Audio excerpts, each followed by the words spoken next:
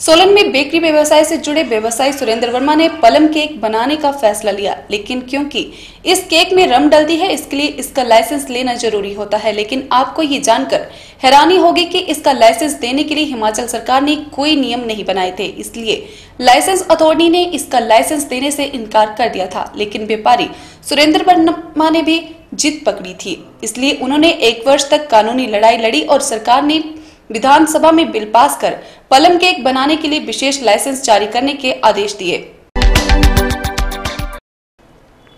सोलन में बेकरी व्यवसाय से जुड़े व्यवसायी सुरेंद्र वर्मा ने पलम केक बनाने का फैसला लिया है, लेकिन क्योंकि इस केक में रम डलती है, इसके लिए इसका लाइसेंस लेना ज़रूरी होता है। लेकिन आपको ये जानकर हैरानी होगी कि इसका लाइसेंस देने के लिए हिमाचल सरकार ने कोई नियम नहीं बनाए थे, इसलिए लाइसेंस अथॉरिटी ने इसका लाइसेंस देने से इनकार कर दिया था, लेकिन व्यापारी सुरेंद्र वर्मा ने भी जीत पकड़ी थी कि इसके लिए उन्होंने एक वर्ष तक कानूनी लड़ाई लड़ी और सरकार ने विधानसभा में बिल पास कर पलम केक बनाने के लिए विशेष लाइसेंस जारी करने के आदेश दिए। इस केक को बनाने की प्रक्रिया को आरंभ करने के लिए कुछ दिन पहले सोलन के होटल में कार्यक्रम आयोजित किया गया, जिसमें सोलन वासियों के समक्ष केक में डलने वाले ड्राई फ्रूट और अन्य सामान को रम के साथ मिश्रित किया गया, जिसे 45 दिनों तक सुखाया जाएगा और फिर उसके बाद उसका इस्तेमाल केक बनाने के लिए किया जाएगा। अधिक जानकारी देते हुए बेकर स्टेट के एमडी मधुकर वर्मा और सुरेंद्र वर्मा ने बताया कि उन्होंने पल्म केक बनाने के लिए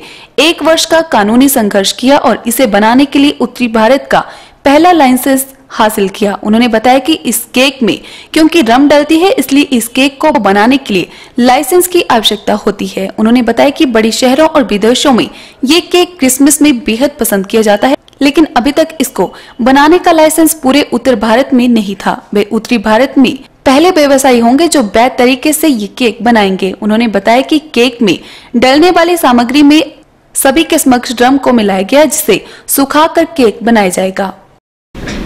नमस्कार। आज होटल पैरागॉन सोलन ने पहली बार प्लम केक का केक मिक्सिंग प्रोग्राम किया।